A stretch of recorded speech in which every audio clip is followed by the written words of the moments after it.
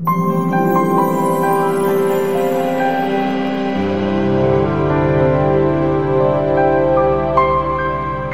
would like to welcome everybody to the Hebraic Heritage Ministries Yeshiva Discipleship Program. We are studying the Biblical Festival. This session will be our last session on the subject of Passover. This week we are going to be doing a teaching on the Passover Seder.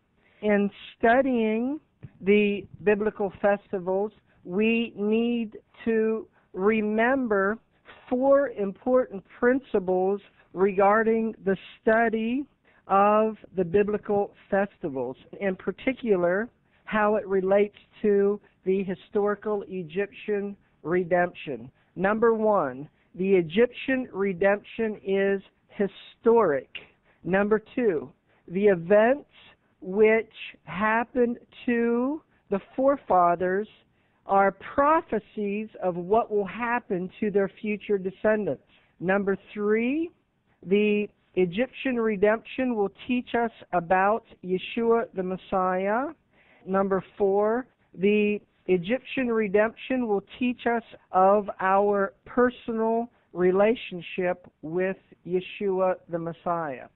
Passover is the festival of our freedom. So, number one, Passover is historic. In Exodus chapter 12, verse 11 and 13, it is written, And thus you shall eat it, with your loins girded, your shoes on your feet, and your staff in your hand, and you shall eat it in haste. It is the Lord's Passover and the blood shall be to you for a token upon the houses where you are. And when I see the blood, I will pass over you, and the plague shall not be upon you to destroy you when I smite the land of Egypt. So when we're studying about Passover, we're studying about the historical Egyptian redemption. But we need to keep in mind that biblical history is prophecy we are told that the historical Egyptian redemption is a prophecy and encouragement instruction for those who are living in the end of days. In 1 Corinthians chapter 10 verse 11 it says, "Now all these things happened unto them for in samples, and they are written for our admonition upon whom the ends of the world are come." The historical Egyptian redemption is a prophecy and it is a parable about the end of days. In Psalm 78, verses 1 and 2, and verse 13, it is written, Give ear, O my people, to my Torah, incline your ears to the words of my mouth. I will open my mouth in a parable. I will utter dark sayings of old. And speaking about give ear to my Torah, I will open my mouth in a parable. Psalm 78 goes on and speaks about the historical Egyptian redemption. In verse 13 it says, He divided the sea and caused them to pass through, and He made the waters to stand as a heap. The future redemption of the house of Jacob from all the nations where they've been scattered is a parallel and is likened unto the historical Egyptian redemption. In Hosea chapter 2 verse 15 and then in Micah chapter 7 verse 15 it is written, And I will give her her vineyards from there in the valley of Achor. Achor in Hebrew means trouble or troubling. The valley of trouble, which is a reference to the tribulation period, for a door of hope and she shall sing there, and she will sing as in the days of her youth, as in the day when she came up out of the land of Egypt. Then Micah chapter 7 verse 15 says, According to the days of your coming out of the land of Egypt, will I show unto him marvelous things.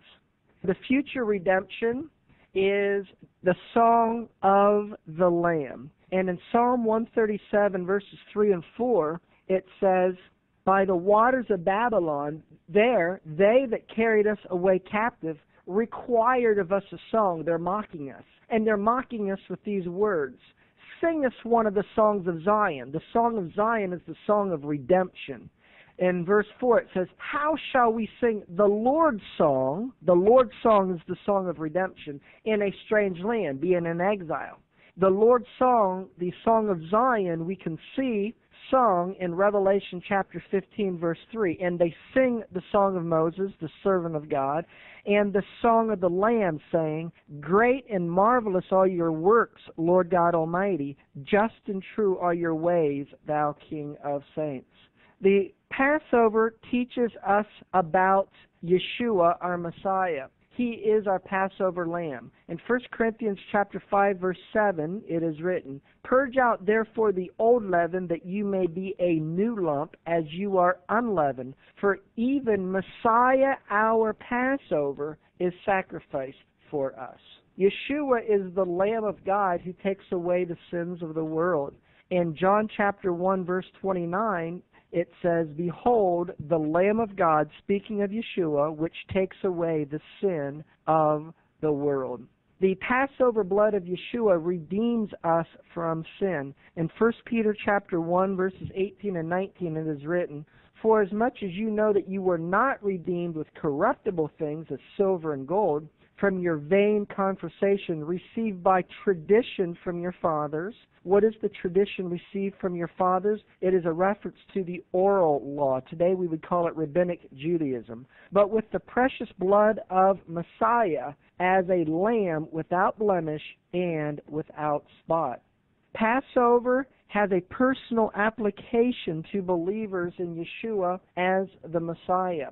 And we're to identify with the historical Egyptian redemption. In 1 Corinthians chapter 10 verses 1 through 4 it is written, Moreover, brethren, I would not that you should be ignorant how that all our fathers were under the cloud, and they all passed through the sea. And they were all baptized unto Moses in the cloud and in the sea and did all eat the same spiritual meat, and did all drink the same spiritual drink. For they drank of that spiritual rock that followed them, and that rock was Messiah. Notice it says in these verses five times that all our fathers were under the cloud. They all passed through the sea. They were all baptized into Moses in the cloud and in the sea. They all did eat the same spiritual meat. They all did drink the same spiritual drink. What is being communicated here is that every believer in Yeshua as the Messiah is commanded to see themselves as if they came out of Egypt. That is because the covenant that was made at Mount Sinai was made with those who were there and also those who were not there.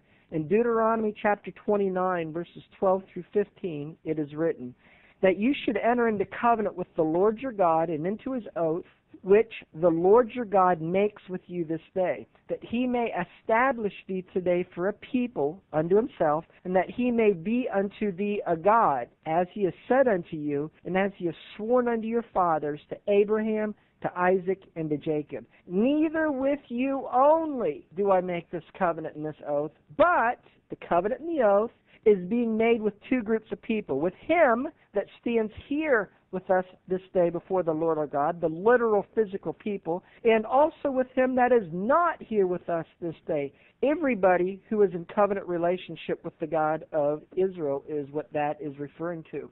There is a commandment to tell your son in every generation that the God of Israel redeemed him from Egypt. In Exodus chapter 13, verse 8, it says, And you shall show your son in that day. One of the ways to interpret and understand this verse is that in every generation, saying, This is done because of what the Lord did for me when I came forth out of Egypt. How does Passover relate to us as being believers in Yeshua as the Messiah? That is because the historical Egyptian redemption was a redemption of the firstborn, and all believers in Yeshua as the Messiah are also referred to as a firstborn family. First, the historical references in Exodus chapter 4, verses 22 and 23. And you shall say unto Pharaoh, Thus says the Lord, Israel is my son, even my firstborn. And I say unto you, Let my son go, that he may serve me. And if you refuse to let him go, behold, I will slay your son, even your firstborn. In Hebrews chapter 12, verses 22 and 23, it shows us how we as believers in Yeshua as the Messiah are a congregation of firstborn people it is written, But you have come unto Mount Zion, unto the city of the living God, the heavenly Jerusalem, and into an innumerable company of angels, to the general assembly and congregation of the firstborn, which are written in heaven, and to God, the judge of all, and to the spirits of just men made perfect. Passover is to be a memorial for all generations. In Exodus chapter 12, verse 14, it is written, And this day shall be unto you for a memorial, and you shall keep it a feast to the Lord throughout your generations. You shall keep it a feast by an ordinance forever. Given the fact that Passover is a memorial, when Yeshua celebrates Passover on the day prior to his death in the evening, in Luke chapter 22, verse 15, he said unto them, With desire have I desired to eat this Passover with you before I suffer. In verses 19 and 20 it says, He took bread and gave thanks and brake it and gave it unto them, saying, This is my body which is given for you. This do in remembrance of me. He is the Lamb of the God of Israel. And so at Passover, which is to be a remembrance, he is now saying that this is all about him, and so therefore remember him in these things. Likewise, the cup after supper, saying, This cup is the New Testament in my blood, which is shed for you. Then, in 1 Corinthians chapter 11, verse 26, For as often as you eat this bread and drink this cup, you do show the Lord's death till he come. You're remembering, just as the commandment was to remember Passover. Therefore, when we study and as we understand the traditional Passover Seder, we need to understand it in these four contexts. Number one, we are referring to historical events. Number two, we are also declaring things that will happen in the future, prophecies to come.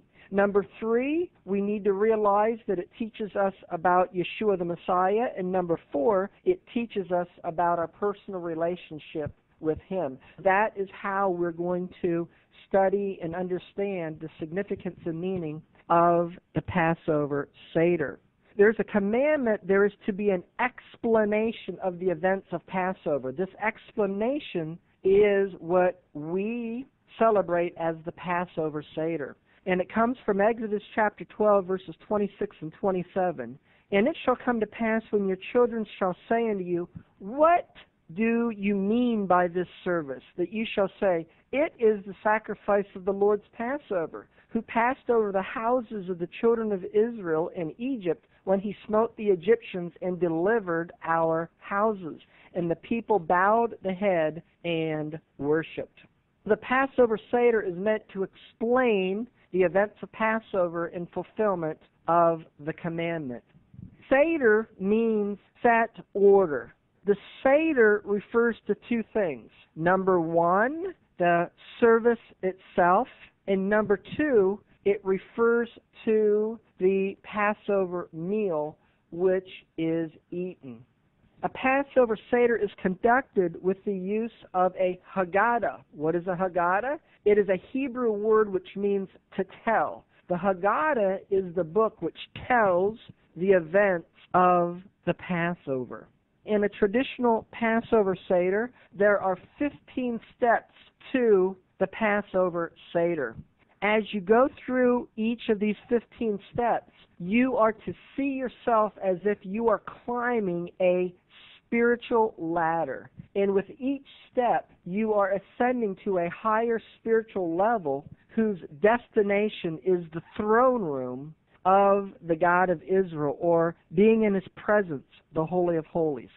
As we're ascending on a spiritual plane through each step, these 15 steps are going to teach us how we're to grow in spiritual maturity and being believers in Yeshua as the Messiah. And as it relates to Yeshua the Messiah himself, the steps of the Passover Seder will teach us about both the first and the second coming of Yeshua. The 15 steps of the Passover Seder are a parallel to the Psalms of Ascent. The Psalms of Ascent are the Psalms that come from chapters 120 to 134. Historically, when the pilgrims came to Jerusalem to celebrate Passover, they sang these 15 Psalms, Psalm 120 to Psalm 134, as they made their pilgrimage to Jerusalem. When you go to Jerusalem, you are ascending, and these are called the Psalms of Ascent. In celebrating the Passover Seder, you will customarily recline during parts of the Passover Seder. Why do we do this? That's because Passover is the festival of freedom. Passover is a celebration of redemption from slavery to become a king and a priest before the God of Israel. Spiritually, we remember our redemption from the bondages of sin through the shed blood of Yeshua the Messiah, and we become his kings and priests, as we're told in Revelation chapter 5, verse 10. In ancient times, kings reclined to represent freedom and liberty when you partake of items during the Passover Seder which represent this freedom, it is a custom to recline. When you partake of items which represent slavery, you do not recline. In preparing for Passover, and in the Passover season, one of the commandments is you are not to eat of any leaven or leaven products. You're to cast leaven products out of your house and from your presence. In traditional Judaism, there is a period of preparation before you actually celebrate the Passover Seder itself. This is based upon Exodus chapter 12, verse 15 and 19, which says, Seven days shall you eat unleavened bread. Even the first day you shall put away leaven out of your houses. For whosoever eats leavened bread from the first day unto the seventh day, that soul shall be cut off from Israel. In Exodus chapter 12, verse 19, it is written, Seven days shall there be no leaven found in your houses. For whosoever eats that which is leavened, even that soul shall be cut off from the congregation of Israel, whether he be a stranger or born in the land this period of time of searching and removing leaven from your presence in preparation for Passover, the ceremony of searching for leaven is called in Hebrew Bedikat Hametz. Prior to Passover, and this is practiced as a custom in traditional Judaism, a ceremony is conducted to search and remove leaven from the house, and the searching for leaven is Bedikat Hametz. The ceremony is as follows. Step number one the house is searched for hametz or any leaven products. How does this spiritually relate to us as believers in the Messiah when we search the house for leaven? That's because believers in Messiah are his house.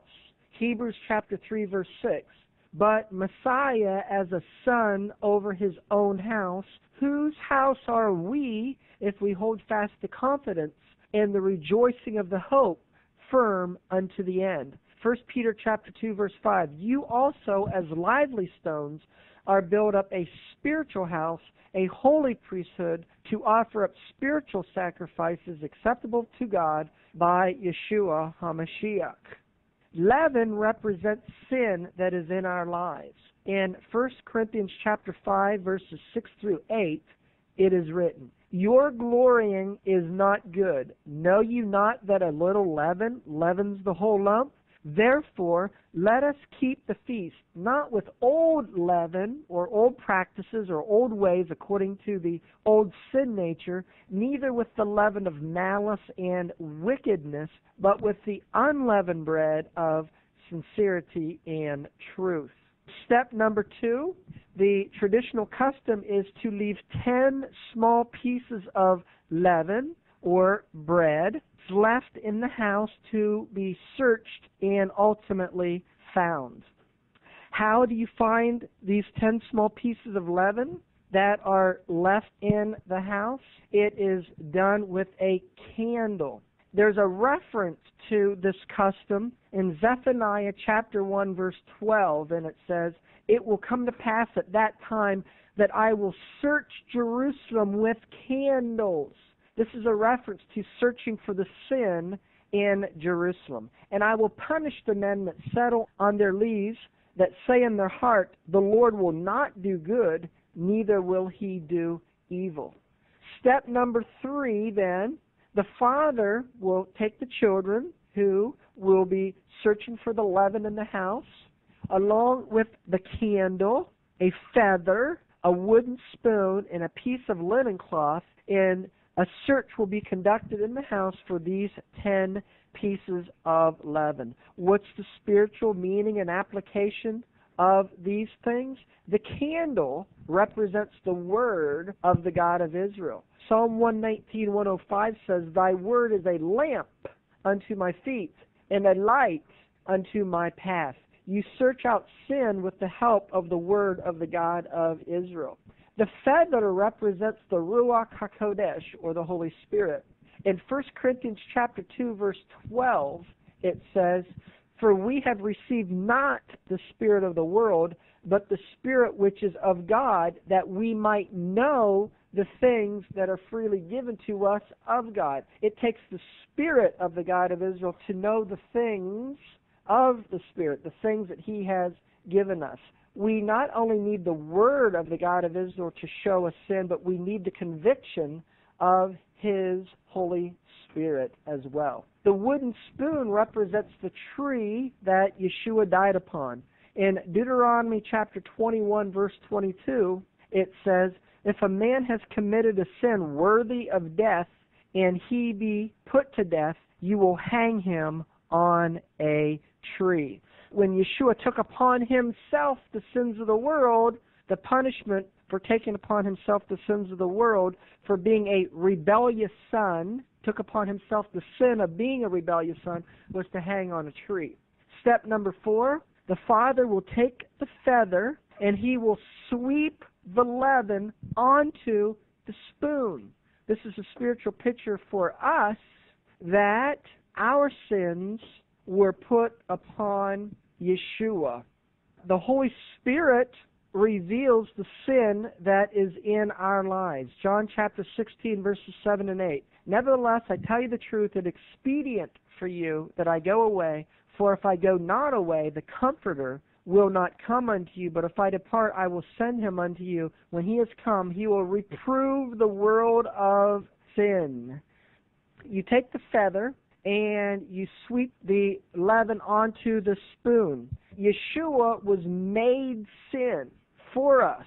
You sweep the leaven on the spoon. Yeshua was made sin for us on the tree. In 2 Corinthians chapter 5 verse 21, for he has made him to be sin for us who knew no sin, that we might be made the righteousness of God in him. The fifth step of this process is the father will take the feather, the spoon, and the leaven and will wrap these things in a linen cloth and cast them outside of the house to be burned. The spiritual meaning and application of this is when the sins of the world were put upon Yeshua, he died on the tree, and in dying on the tree, they wrapped him in linen clothes. John chapter 19, verse 40. Then took they the body of Yeshua and wound it in linen clothes with the spices, as the manner of the Jews is to bury. Yeshua then went to a place of fire and burning. In Acts chapter 2, verse 22, 24, and 27, it is written, Ye men of Israel, hear these words Yeshua of Nazareth, a man approved of God among you by miracles and wonders and signs, which God did by him in the midst of you, as you yourselves also know, whom God has raised up, having loosed the pains of death, because it was not possible that he should be holden of it. Because you will not leave my soul or his soul in Hades, in hell, neither will you suffer your Holy One to see corruption. This is the custom of searching your house for leaven prior to the celebration of Passover itself, which the Passover season inaugurates the days of unleavened bread, where no leaven is allowed to be in your houses. Now let's look at the elements of the Passover Seder, the reason for these elements, and what they represent. The elements of the Passover Seder are meant to be used to help to recreate and tell about the events of Passover. One of the items on our Passover plate is a shank bone. In Hebrew, it is known as a zeroah. Usually, this shank bone is a poultry and it is to be roasted. It represents the Passover lamb which was sacrificed in the days of the temple. Zeroah in Hebrew means arm, and this is a term for Yeshua in Isaiah chapter 53, verse 1, which says, Who has believed our report, and to whom is the Zeroah, the arm of the Lord, revealed? All we, like sheep, have gone astray. We have turned every one to his own way, and the Lord has laid on him the iniquity of us all, as it says in Isaiah 53, verse 6. We have as well three pieces of matzot, which is unleavened bread, on our Seder plates. Matzah, or unleavened bread, represents being without sin. Leaven in the Bible speaks of sin. Matzah is a picture of Yeshua who is without sin, as we're told in 1 Peter chapter 2 and verse 22. If we look at the matzah itself and the characteristics of a matzah, we can see that it is a picture of Yeshua. The matzah is pierced. It says about Yeshua in Psalm 22, verse 16, and Zechariah chapter 12, verse 10, that he was pierced. The matzah is striped. We're told in Isaiah 53, verse 5, that Yeshua was striped. And the matzah is flat. It there is no leaven in the matzah. It is then symbolically without sin and Yeshua is without sin, as we are told in Isaiah 53 and verse 9. The Passover lamb could only be eaten in Jerusalem. In the days of the temple, pilgrims who traveled to Jerusalem for Passover would register at the temple court and eat in groups of 10 to 20 people. A representative for the registered group would go into the temple and sacrifice their lamb for the entire group one lamb may not be enough for everyone to be full if there were 20 people. In this circumstance, a second lamb would be roasted known as the Hagigah, and the Hagigah represents a peace offering. Another item on our Seder plate is maror or hasaret, known as bitter herbs. Traditionally, the two herbs on our plate are romaine lettuce, used as hasaret, and horseradish, used for maror. Two herbs are required to be eaten during Passover, based upon the commandment in Exodus chapter 12, verse 8. And you shall eat the flesh in that night, roast with fire, and unleavened bread, and with bitter herbs they shall eat it. One of the bitter herbs is romaine lettuce.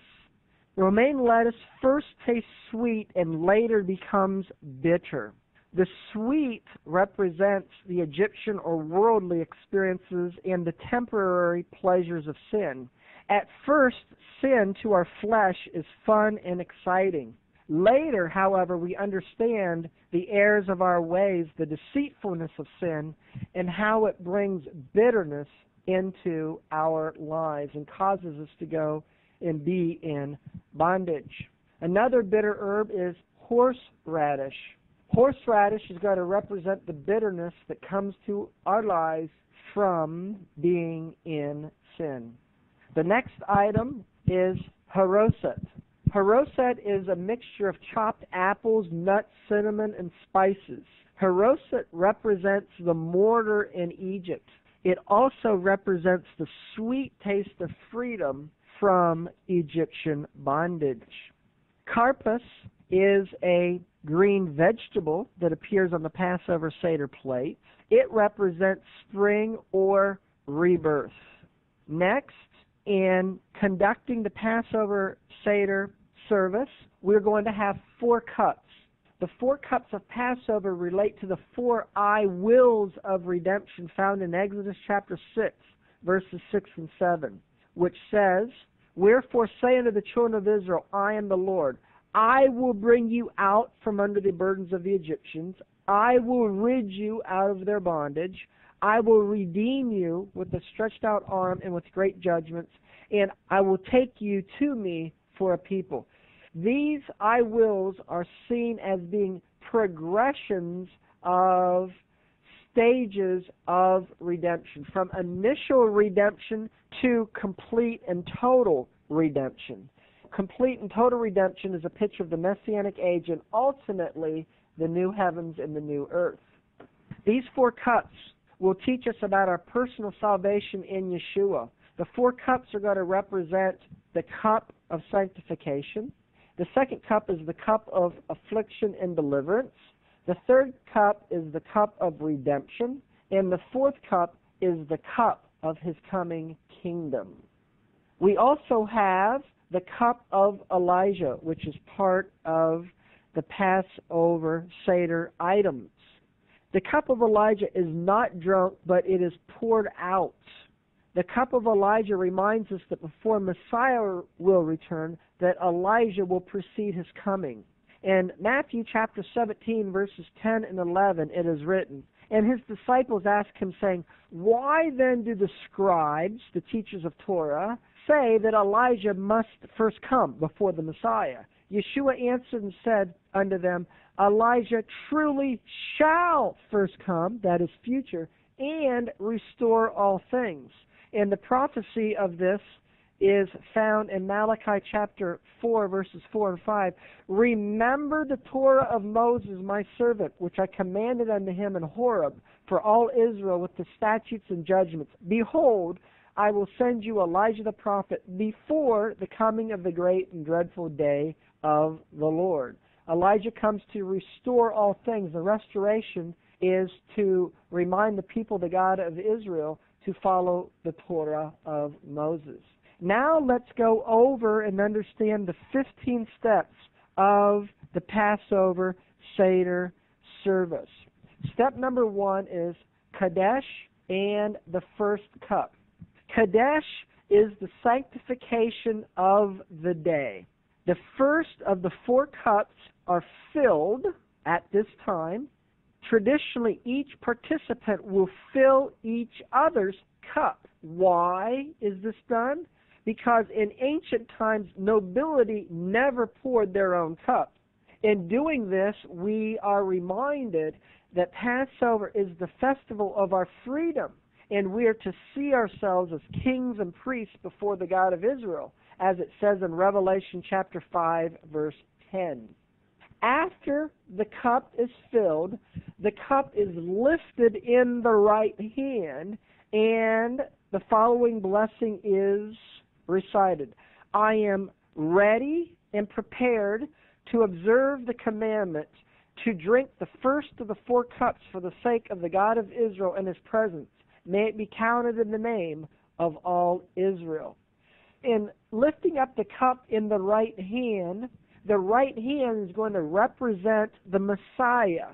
In Exodus chapter 15, verse 6, it says, Your right hand, O Lord, has become glorious in power. Your right hand, O Lord, is the one that dashed in pieces the enemy, that drowned Pharaoh and his army in the sea. That was done by the right hand. The Messiah did that. Psalm 44, verse 3 for they got not the land in possession by their own sword, neither did their own arm save them. It wasn't by their personal physical might, but your right hand in your arm in the light of your countenance, because you had favor unto them. And Yeshua said in John chapter 12, verse 32, And I, if I be lifted up from the earth, will draw all men unto me. Yeshua is the true vine. His vineyard is the nation of Israel. In Psalm 80, verse 8, it says, You brought a vine out of Egypt. You have cast out the heathen and planted it. You planted the vine. Psalm 80, verse 15.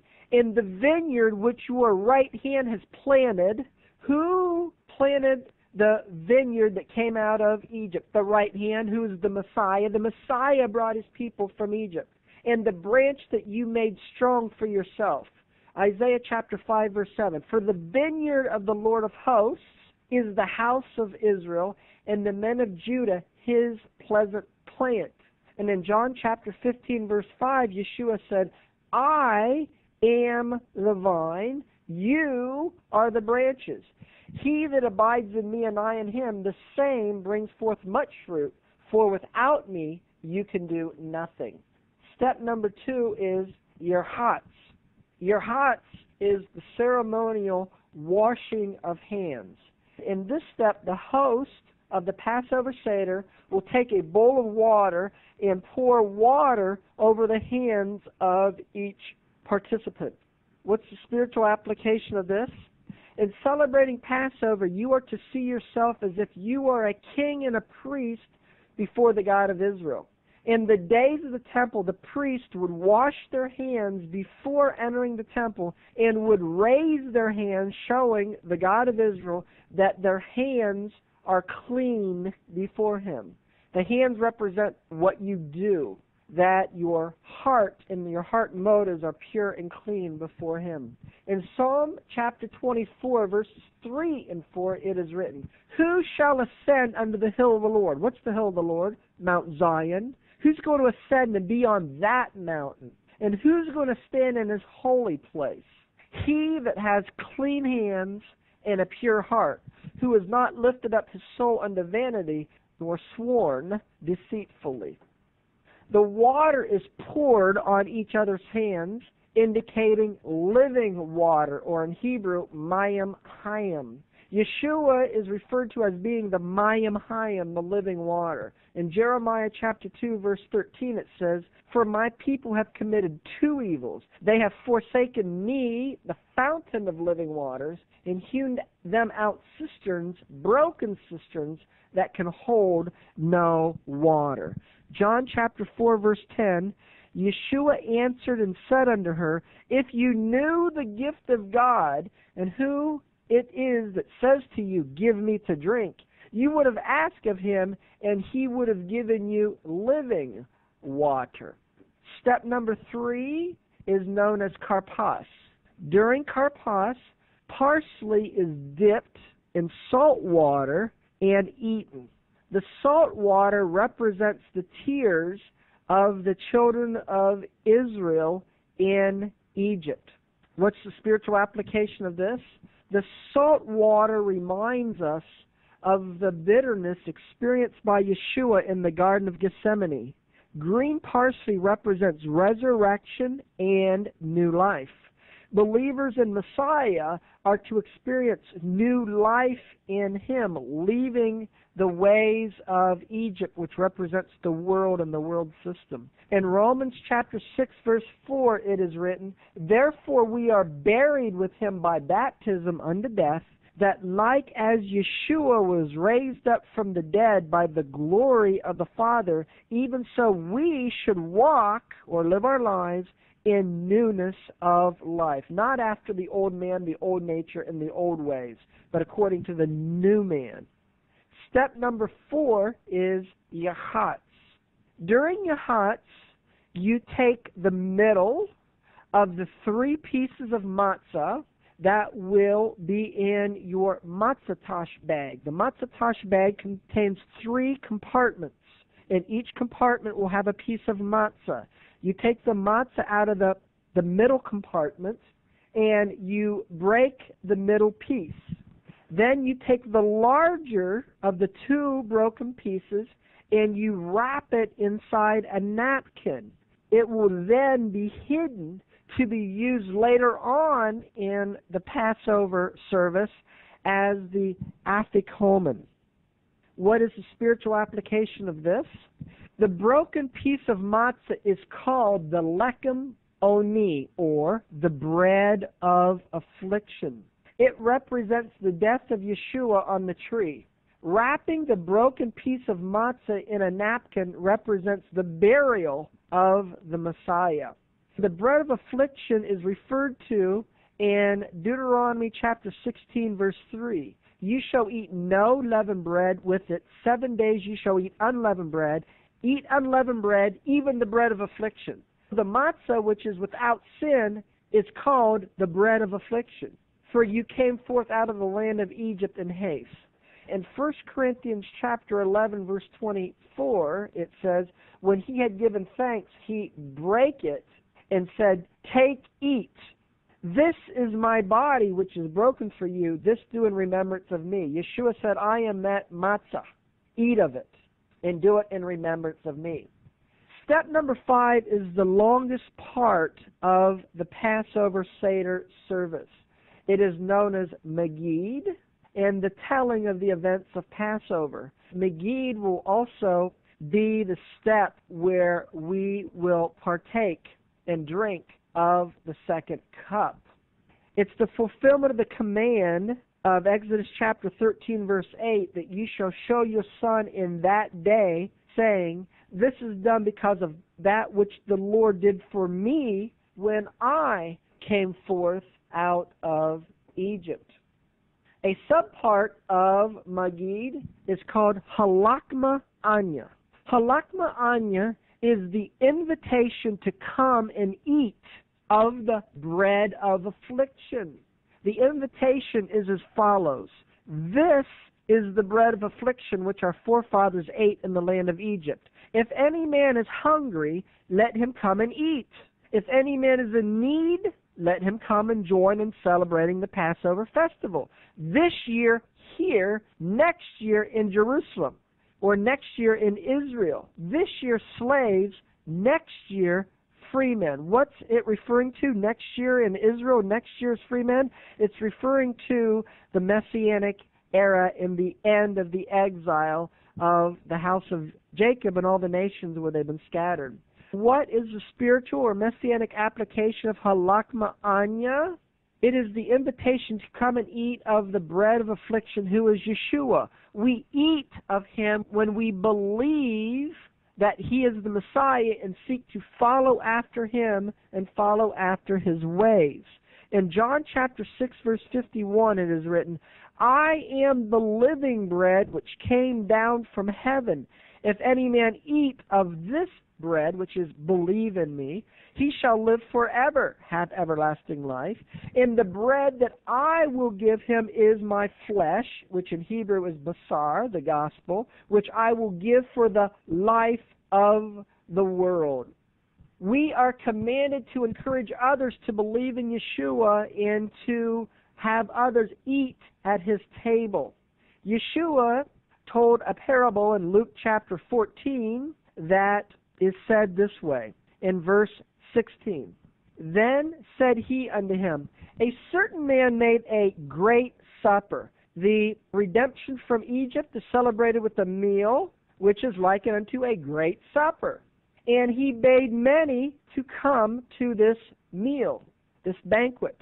And he sent his servant at supper time, when it's time to eat, when it's time to celebrate, to say to them that were bidden, Come, come to the table, for all things are now ready. And they all, with one consent, began to make excuse. The first said, I've bought a piece of ground, and I must needs go and see it. I pray thee, have me excused. In other words, I'm busy with the things that are occupying my life. Luke 14, verse 21. So that servant came and showed his Lord these things. Then the master of the house, being angry that they didn't want to come and eat at his table, said to his servant, Go out quickly into the streets and the lanes in the city and bring in, look, the poor, the maimed, the halt, and the blind. If you look up who is described as being poor and blind and maimed, it is the house of Jacob and being exiled in the nations of the world. That's how they're described. So this is a commandment to bring them back to Torah and to eat at the table, to eat of Messiah, and to follow his commandments. Luke 14, verse 23, And the Lord said unto the servant, Go out into the highways and hedges, and compel them to come in, that my house may be filled. Another subpart of Magid is known as Manishtana, which is the four questions.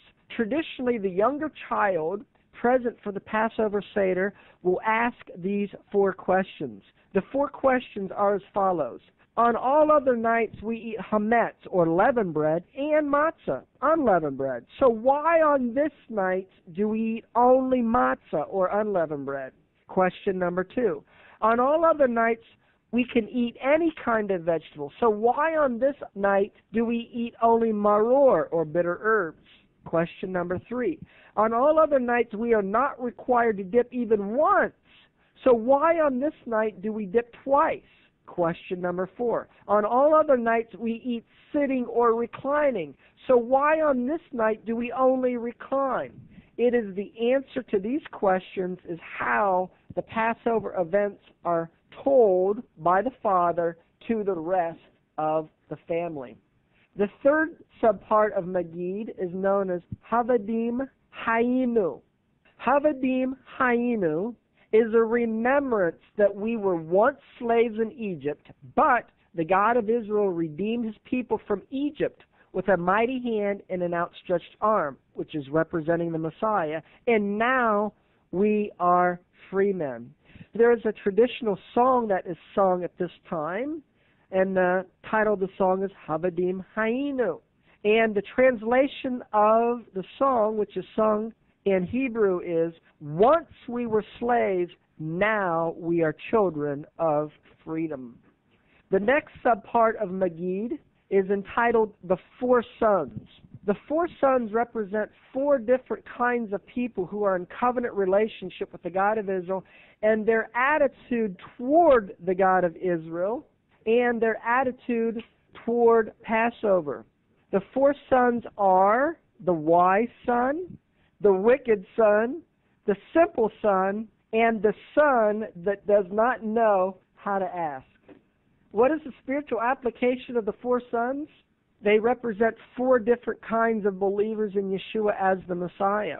The wise son represents the mature believer who practices his faith with diligence the wicked son can be associated with the one that shows indifference to following his faith after being exposed to faith in Yeshua as the Messiah and being raised in a believing home and atmosphere. The simple son is representative or associated with the believer who wants to further understand his faith in a deeper way, in is inquisitive and wants to learn more and more about following the Messiah. The son that does not know how to ask represents the believer who is not even aware how you go about studying and growing in your faith.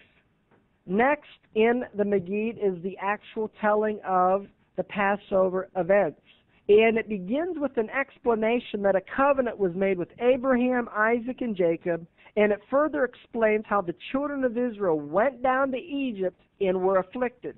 Then the God of Israel brought forth his people after ten plagues fell upon the land of Egypt. These ten plagues were blood, frogs, lice, flies, pestilence, boils, hail, locusts, darkness, and the tenth plague was the slaying of the firstborn. At this part of Magid, you recite what is known as Dayenu. Dayenu means it is enough. This section of the Passover Haggadah explains how the God of Israel was under no obligation to redeem his people from Egypt. Therefore, every act that he does for his people should be received with a thankful heart the traditional prayer of thanks in the Haggadah consists of the following Therefore, it is my duty to thank, to praise, to laud, to glorify, to exalt, to acclaim, to bless, to extol, and to give respect to him who performed all these miracles for our fathers and for me. He has brought me forth from slavery to liberty, from sorrow to joy, from mourning to festival, from darkness to bright light, and from bondage to redemption. Therefore, let me recite a new song before him. Hallelujah. There's a traditional song that is sung. The title of the song is Dayenu. The words of the song go like this If he had only brought me out of Egypt, that in itself would have been enough. And then it goes on and remembers the various things that the God of Israel did for his people. For example, if he had only given us the Torah, that would have been enough. Rather than expecting so much from the God of Israel and being disappointed when things don't go your way in life, we need to receive every good thing that we have with thankfulness. That is the lesson of Dayenu. In Psalm 100, verse 4, it says, Enter into his gates with thanksgiving and into his courts with praise. Be thankful unto him and bless his name. In 1 Thessalonians chapter 5, verse 18, it is written, And everything give thanks, for this is the will of God in Yeshua HaMashiach concerning you. Next in the Magid, we recite the first part of the Hallel. The Hallel is Psalms 113 to 118, and at this time you only recite Psalms 113 and 114. Then we drink from the second cup. The second cup is called the cup of affliction and deliverance. The spiritual application of this second cup, the cup of affliction and deliverance, Yeshua partook of this cup in Gethsemane. In Luke chapter 22, verses 42 through 44, it is written, saying, Father, if you be willing, remove this cup from me. Nevertheless, not my will, but your will be done. And there appeared an angel unto him from heaven, strengthening him. And being in agony, he prayed more earnestly, and his sweat was as it were great drops of blood falling down to the ground. Step number six is Ratzah. Ratzah is the symbolic washing of hands once again. Step number seven is Motzi. Motzi is the blessing over bread. The traditional blessing over bread is as follows Blessed are you, O Lord our God, King of the universe, who brings forth the bread from the earth. In truth, this blessing over bread is a prayer of thanks unto the Heavenly Father for resurrecting Yeshua from the grave, he being the true bread that was brought forth, resurrected from the grave or from the earth. Yeshua is the true bread. John chapter 6, verse 33. For the bread of God is he which comes down from heaven and gives life unto the world. Step number eight is matzah. This is the blessing for in the eating of matzah. What is the spiritual or messianic application to matzah? When you eat matzah, you realize that it doesn't have much taste. It tastes bland. This is a description of Yeshua. In Isaiah chapter 53, verses 1 and 2, it is written, who has believed thy report, and to whom is the arm, the zeroah, that shank bone on the Seder plate, of the Lord been revealed? Verse 2 it says, For he shall grow up before him as a tender plant, and as a root out of dry ground. He has no form nor comeliness, and when we shall see him, there is no beauty that we should desire him. It is like the matzah, it is bland in its taste at least from the eyes of the external world with carnal eyes and with a carnal mind. Step number nine is maror. Maror here is romaine lettuce, and it is eaten at this time. And what is traditionally done is the maror is dipped or rolled with the haroset, which is the mixture of apples and nuts and cinnamon and spices, etc. And because we are eating of maror, which represents slavery, you do not recline when eating maror. Step number 10 is korek. Korek is the eating of matzah and maror, and in this case it's the horseradish, together. How this is customarily done is you will take two pieces of matzah and you will put the horseradish at the front of your sandwich that you're making, and you'll put the haroset behind. So initially, when you bite into the sandwich, you will taste the horseradish, which has got to cause your eyes to water and to tear. But if you keep eating, you're going to eat the sweetness of the haroset. This sandwich is known as the Hillel sandwich from the custom of Rabbi Hillel, which dates back to the first century. What is the spiritual application of doing this? The tears from the horseradish represent the bitterness of trials and tribulations that come into our lives. The lesson to be learned is that if you will press through the trials and the tribulations, which causes heartache and tears to come upon us, represented by the horseradish, and trust in Yeshua for his deliverance, you will experience the sweetness, which is the haroset, and the God of Israel's deliverance in your lives.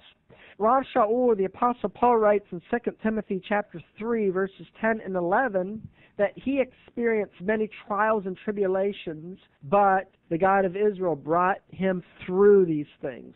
But you have fully known my doctrine, manner of life, purpose, faith, long suffering, charity, patience, persecution, afflictions, which came unto me at Antioch, at Iconium, at Lystra, what persecutions I endured, but out of them all the Lord delivered me. Step number 11 is called Shulchan Arek. This is the actual eating of the Passover meal itself. The Passover meal is a celebration of the redemption from Egyptian bondage. When you get done eating the meal, you are going to search for the piece of matzah that was hidden earlier in the service, known as the afikomen. The afikomen is searched, found, and redeemed. Once the afikomen is found, it is a custom for the child to barter with the father to determine the value of the afikomen. Once the agreed price is made, the father will give a down payment on the agreed price. This down payment is called or known the promise of the father. The spiritual application to us is the afikomen represents Yeshua the Messiah. Some interpret the word afikomen to mean dessert. However, the word afikomen can also mean he came in the Greek aorist tense. The middle piece of matzah, which was broken earlier, representing the death of Yeshua on the tree, and then became hidden, representing that Yeshua would not return following his death on the tree for approximately 2,000 years after his death on the tree, is now redeemed, representing those who would accept him as the Messiah. The promise given to those who accept Yeshua as the Messiah is the indwelling Holy Spirit, who is the promise of the Father. In Luke chapter 24, verse 49, it is written, And behold, I send you the promise of my Father upon you. But tarry ye in the city of Jerusalem until you be endued with power from on high. So this is referring to the outpouring of the Holy Spirit, which we read about in Acts chapter 2. The indwelling Holy Spirit is the down payment given to every believer in Yeshua as the Messiah where there will be a greater presence of the Spirit of the God of Israel and the awareness of His presence during the Messianic era when the entire earth will be filled with the knowledge of Yeshua. In Habakkuk chapter 2 verse 14 it says, For the earth shall be filled with the knowledge of the glory of the Lord as the waters cover the sea. When Yeshua ascended to be with the Heavenly Father, He gave gifts to man through the indwelling Holy Spirit. We are told about this in Ephesians chapter 4, verses 7 and 8. But unto every one of us is given grace according to the measure of the gift of Messiah. Wherefore he says, When he ascended on high, he led captivity captive, and he gave gifts to men.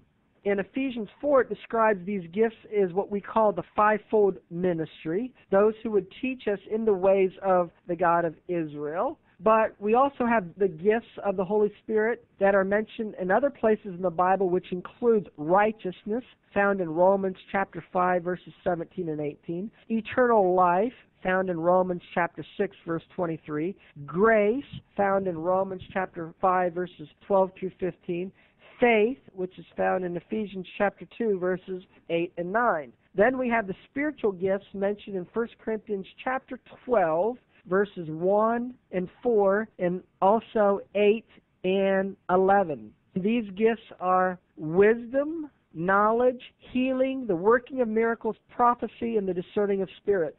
In 1 Corinthians chapter 12 verse 10, we have tongues and the interpretation of tongues, and in 1 Corinthians chapter 12 verse 28, we have gifts of helps and administration. Now we need to understand that the steps which we have done so far in the Passover Seder prior to eating the Passover meal emphasizes and teaches us about the first coming of Yeshua. The events after eating the Passover meal is going to teach us about the events of the second coming of Yeshua. Step number 12 is known as Zafun. Zafun is eating the afikomen which had been redeemed earlier.